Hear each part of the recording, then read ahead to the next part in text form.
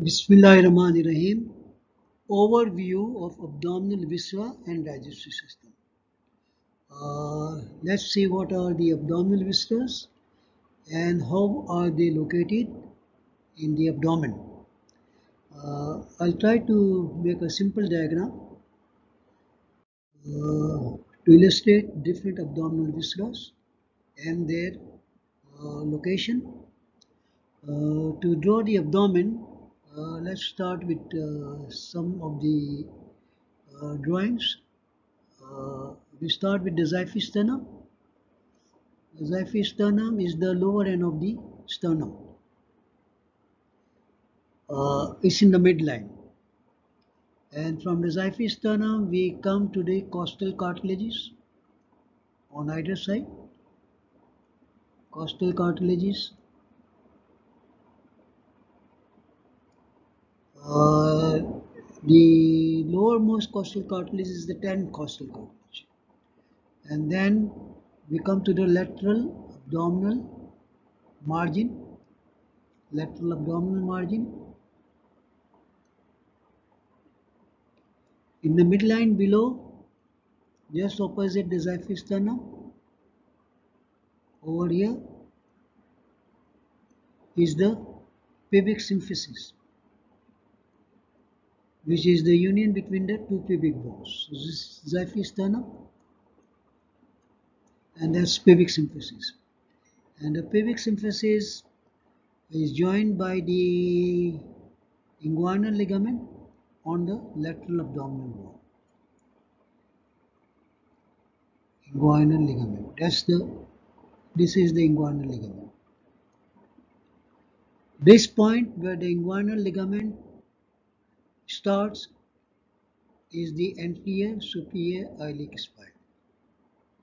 Anterior superior iliac spine, which is very much palpable on uh, uh, abdominal examination.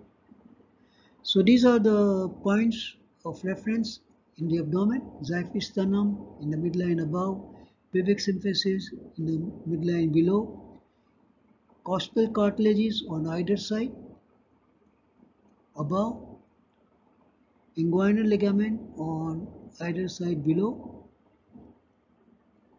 and joined by uh, laterally by the lateral abdominal wall. Now the abdominal viscera are within this abdominal cavity. The, let's start with the abdominal viscera which are in the upper abdomen. The two big upper abdominal organs on are liver on the right side and spleen on the left side. So the liver is over here on the right side. And most of the liver is in the thorax encroaching the thorax. And goes up to the almost fourth intercostal space. Uh, so part of the liver is in uh, abdominal, it's an abdominal organ, but it is well protected by ribs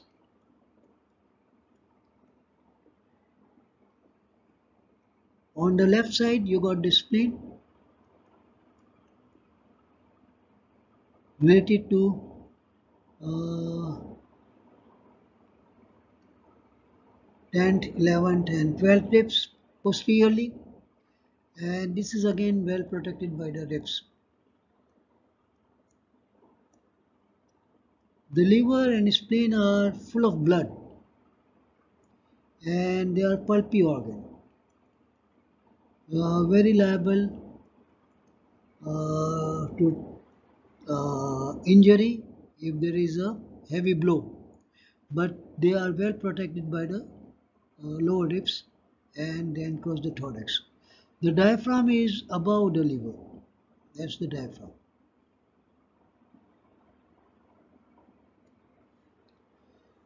Now in the midline uh, abdominal organs uh, you got a part of the abdominal uh,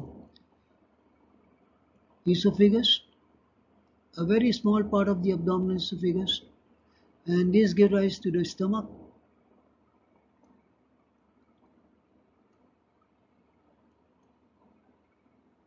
Stomach going to the pyloric end and uh, becoming C loop, which is the C loop of the duodenum. So that's the stomach. This is the duodenum. And this C loop of the stomach has got pancreas over here.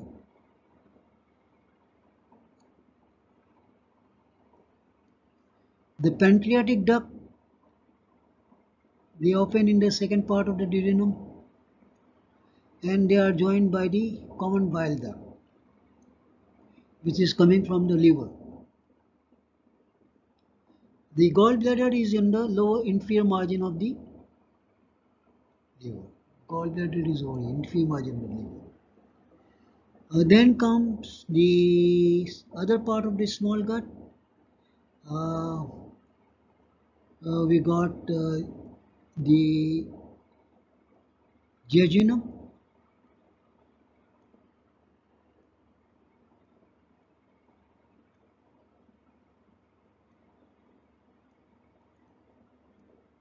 And the jejunum is in the upper abdomen. Uh, and this goes more distally. These are the loops of the small gut. They go more distally.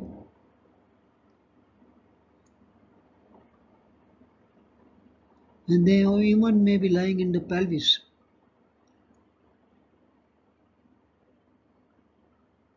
So this is uh, duodenum, that's the jejunum, and this is ileum. So three parts of the small gut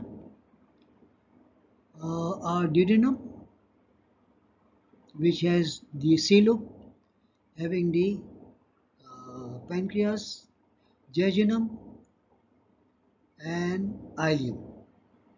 And the ileum ends up into the large gut. This is small gut. The large gut, the first part of the large gut is the cecum. So the ileum ends in the cecum. And cecum is the first part of the large gut and cecum has got the appendix. The cecum gives rise to what is known as ascending colon. Ascends. Ascending colon. Goes up to the liver and then it turns around. There is a flexion. Turns around towards the left side.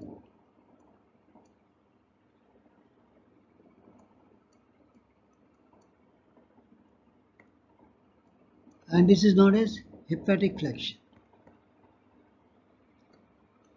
Hepatic flexion. And becomes the transverse colon. till it comes to the spleen and again it turns around and this is known as splenic flexion because it's near the spleen splenic flexion and then it descends that is the descending colon descending colon and ultimately uh, it ends up into the pelvic colon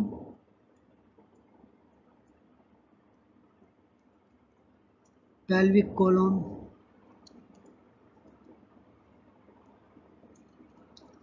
and the pelvic colon ends up into the rectum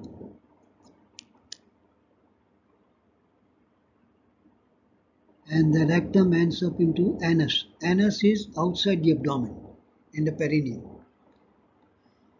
So these are the digestive viscera. Stomach, small gut, duodenum, jejunum, ileum, large gut, cecum, ascending colon, hepatic flexure, splenic flexure, descending colon, pelvic colon, uh, which is also known as sigmoid colon, rectum and anus. The other ab abdominal viscera which are of importance are kidneys,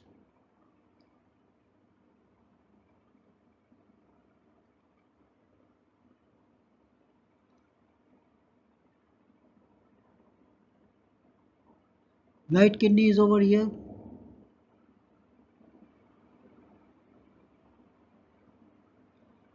And the left kidney is over here.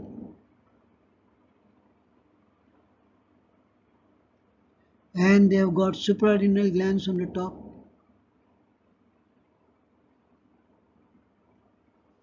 So right and left kidney, then lower down you got the bladder joined by ureters to the kidneys. And in female, uh, you got one uh, female uterus is present with fallopian tubes and uh, ovaries. That's the uterus. uterus. These are fallopian tubes and ovaries over here. So these are some of the important uh, abdominal viscera. Uh, and uh, this is a brief overview of it. Now we come to the uh, food passage. Uh, food passage starts from the mouth, goes into the esophagus, and from the esophagus into the stomach.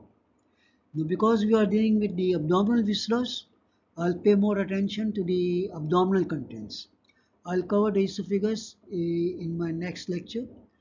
Uh, stomach, oh, is over here and it has got a lesser curvature and a greater curvature. Lesser curvature is this one and the greater curvature is this one. That's the greater curvature. The stomach receives food which has already been masticated and then there is digestion in the stomach. Uh, stomach has got peristalsis. Peristalsis is the activity of the smooth muscles, contraction of the smooth muscles. Uh, the smooth muscles start contracting proximally and then it moves distally. And the food is uh, uh, digested, masticated food is churned up and digested and once the food is prepared it is propelled into the duodenum through the pylorus into the duodenum. The duodenum receives the uh, juices from the pancreas and from the liver. So digestion takes place in the stomach as well as in the uh, duodenum because of the gastric juice, pancreatic juice and the bile. Once the food is digested, it comes into the small gut. Small gut, that's the jejunum, ileum. The function of the small gut is mostly absorption. All the nutrients, uh, chemical nutrients, which are useful as being absorbed and once absorption has taken place, the food comes into the large gut, cecum and ascending colon and transverse colon. Here most of the reabsorption of water takes place. Uh, water is reabsorbed over here, ultimately leaving fecal matter, solid particles. And the fecal matter is in the descending colon. The descending colon. These feces are stored in the rectum and then they are passed out of the anal canal by way of defecation.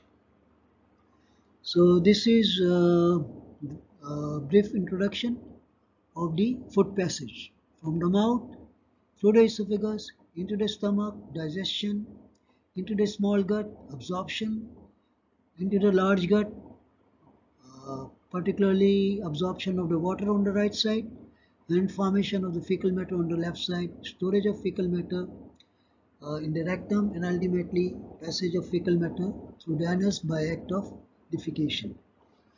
Uh, the arterial supply of the digestive system is from the abdominal aorta. Uh, the abdominal aorta gives rise to uh, three major branches which arises from anterior part of the abdominal aorta. If you look at the ab abdominal aorta, Uh, there are anteriorly three branches, one over here, one over there, one over here before it bifurcates into iliac arteries. This is celiac axis, celiac axis. That's the superior mesenteric artery and this is inferior mesenteric artery. Celiac axis supplies the foregut, uh, stomach and duodenum and also supplies the liver, hepatic artery. Superior mesenteric artery supplies the midgut, small gut and inferior mesenteric artery supplies the uh, large gut. The venous drainage is through the portal system which is known as portal venous system an important aspect of uh, uh, uh, an important aspect because of the liver cirrhosis. The portal venous system, uh, portal vein is formed by combination of the hip, uh, superior mesenteric vein and by combination of the splenic vein. Splenic vein comes from the spleen, superior mesenteric vein coming from the intestine and they form the portal vein. That's the portal vein which opens up into the liver where purification, the all the venous or, or blood uh,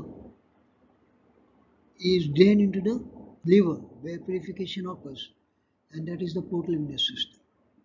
So this is a brief uh, introduction to uh, abdominal viscera and its contents.